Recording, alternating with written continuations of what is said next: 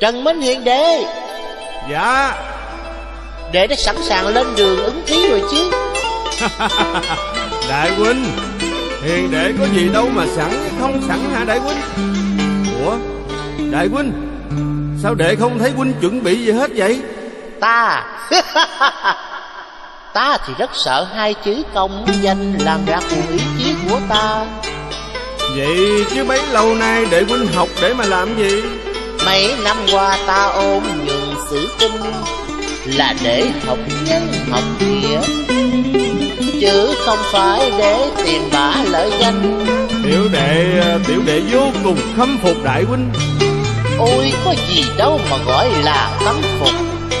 Chẳng qua là ý sống khác nhau thôi. Đối với ta đời là thành thơ đồng buồn Ngày tháng không giống sống nơi miền quán gia Ngoài dòng lợi danh như ngao trên cao thấp mặt tình. Để ao ước được như huynh Đời một khổ an nhàn Vui cùng gió núi trăng ngàn. Ta e rằng hiền đệ khó thực hiện được đâu.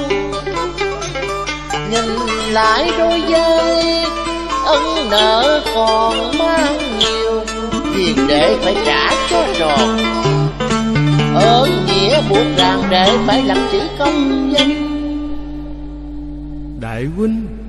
Hiền đệ à Hiền đệ đừng buồn nữa. Mỗi người có một hoàn cảnh khác nhau.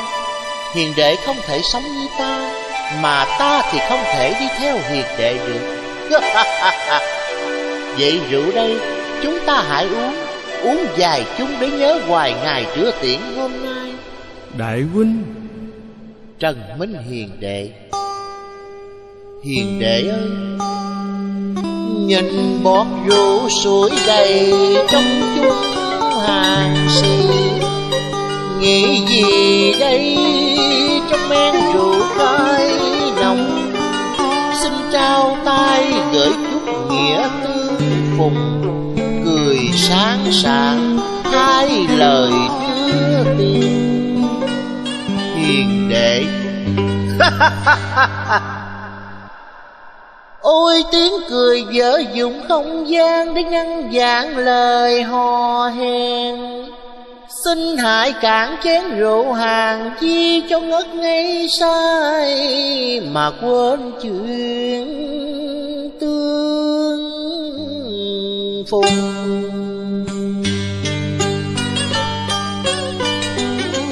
Trời đất đã rộng tên thang tình chi lại khôn cùng. Làm sao biết được chuyện bèo mây tan họp Nghĩ thêm buồn cho những ngày sống núi cánh xa. Này đường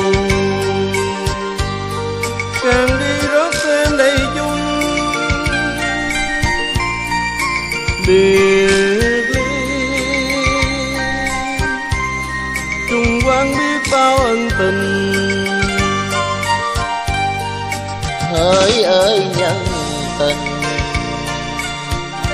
Nào ngờ tương lai Buồn vui ai biết? Quỳnh Nga sẽ vui mình thành danh Riêng với ta biết vui hay buồn. Kìa hiền đại huynh huynh nói câu thoáng nghe lòng đau. Chén rượu hôm nay nào phải chén quan hà? Sao đưa tiền mà lòng buồn cười Thân cá chép đã tung tung lặng lội. Hãy cố vượt vũ môn đây qua kiếp được thành công. Uống cạn chén này rồi chén nữa. Rượu đã cạn bầu, chưa thấy sao. Hồn lại thăm sai tình khi gì? Ngày mai chia biệt dạng đường mây. Mai đây phương trời đường lai kinh tuy xa xôi Nhưng trong tâm tình đề mang theo như trăng soi. Quỳnh Nga Đâu ai đắc trang làm trai thì câu oán ân cho tròn. nhìn mái tóc đại huynh rối bồng như mây tám hướng để càng tự thẹn mình mấy lâu ràng buộc nợ cân đai trọn đời để sẽ nhớ hoài men rượu hôm nay cầm màu gói nhịp mà ca bài ca cảm hồn cao rộng đại huynh đã vượt ngoài dòng phiền toái. Để còn lẫn đấng cứu mang nhiều ân nợ công hầu. Rượu này nồng đến ngàn sao, hơi men tay lập ngàn câu thâm tình. Không đưa dạng dầm trường đình, mà nghe thương nhớ hơn ngàn núi sông xin bái biệt. Hiền đệ.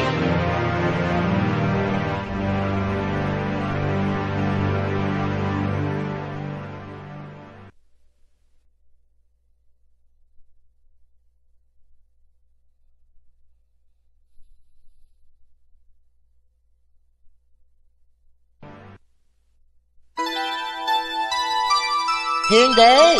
Bây giờ đã là trạng nguyên Mà vẫn còn uống rượu quán nghèo sao? Uống uống chứ đại huynh. Đại huynh ơi, tuy rượu quán nghèo nhưng nồng nàn hương về xin kinh cẩn tài năng mời tri kỷ mượn chén rượu ngày xưa cho tròn vẹn thâm tình. Rượu lạc trạng nguyên thì để chỉ xin gian muốn một mình. Đâu dám rót làm bận mối người nghĩa khí xin gửi vào đây bằng hương vị của ngày xưa. Cởi áo mạo cân đai giao cho quân hầu giữ lấy mặc nguyên áo hàng để mừng bạn cố tri. Dậy rượu tương phùng đại huynh nại uống đi. Uống chén rượu hôm nay để nhớ hoài ngày đưa tiền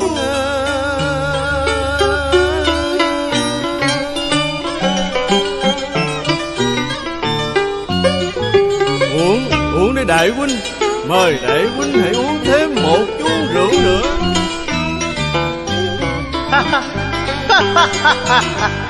dân ta uống đây. Để hải uống với ta. Uống với ta đi đệ Hảo bằng hữu.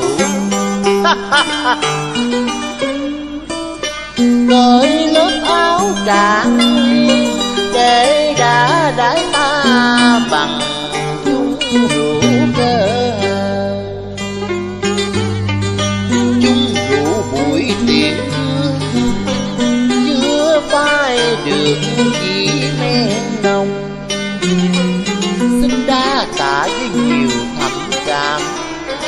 xuống tâm hồn đậm nghĩa cố tiên hơi rượu hôm nay ướp men tình ngày cũ ta nghe sao còn hơi hôn cạn rượu đã mất hôn Thôi chỉ xin dám cạn dài chút nhỏ Rồi lại quay về với thuốc bằng cài sâu